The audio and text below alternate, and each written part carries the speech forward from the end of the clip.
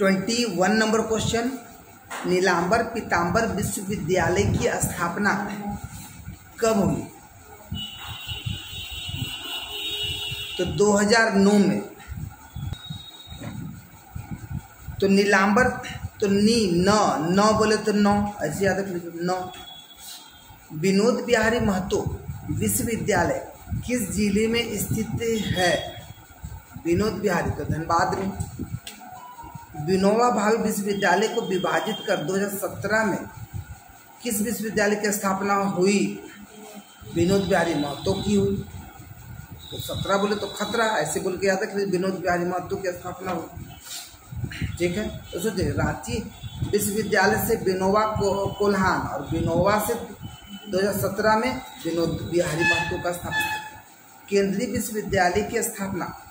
किस शहर में की गई तो वो तो ज़्यादातर कैपिटल में ही होती है। तो रांची, भारतीय प्रबंधन संस्थान आई आई एम रांची की कब स्थापना हुई? 2010 में तो आईआईएम की स्थापना, भारतीय प्रबंधन संस्थान की स्थापना, रांची में 2010 में हुई। Birla institute of technology, B I T, कहाँ स्थित है?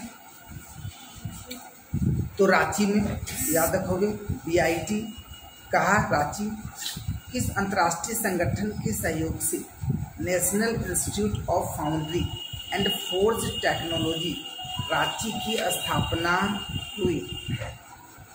ठीक है? तो यूनेस्को याद रखेंगे यूनेस्को के सहयोग से। जेवियर समाज सेवी संस्थान Xavier X I S S Xavier है ना?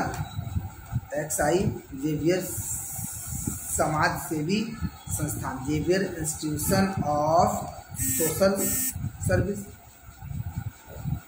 ये रांची में है, इसके संस्थापक कौन है?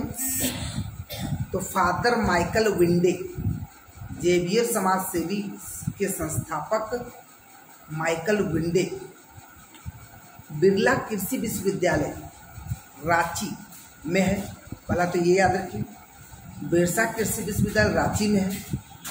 दूसरा याद है कि इसकी स्थापना उन्नीस को हुई और उसे विश्वविद्यालय का दर्जा कब प्राप्त हुआ? उन्नीस सौ सतासी में। कब प्राप्त हुआ? उन्नीस सौ सतासी में। और आई आई आई धनबाद की स्थापना कब हुई? 1926 में।